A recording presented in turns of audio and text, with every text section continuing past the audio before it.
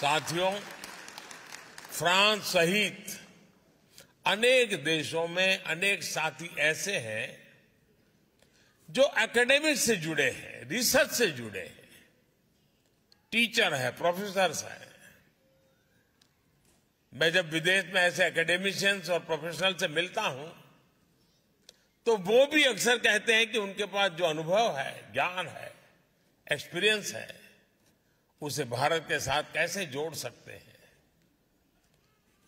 और मैं आपको एक खुशखबरी देता हूँ, इनकी इस इच्छा को भी हमने मान रखा है।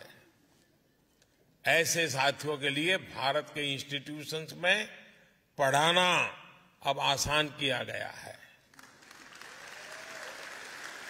पिछली बार जब मैं फ्रांस आया था, तब तय हुआ था कि फ्रांस में पढ़ने वाले भारतीय स्टूडेंट्स को दो साल का पोस्ट स्टडी वर्क वीज़ा दिया जाएगा।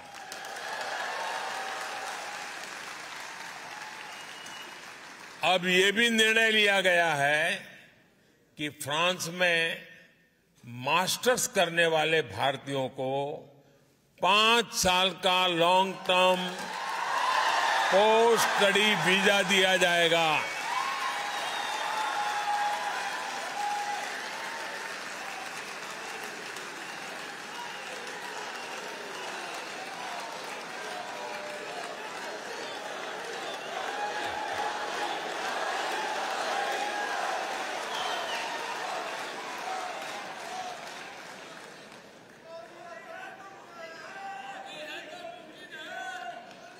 भारत सरकार ने, फ्रांस सरकार की मदद से मार्से में नया कॉन्सुलेट खोलने का भी फैसला किया है।